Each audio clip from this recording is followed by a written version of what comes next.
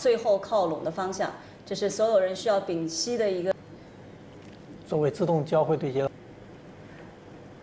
两米十字星，十字星现在是对准的好的啊。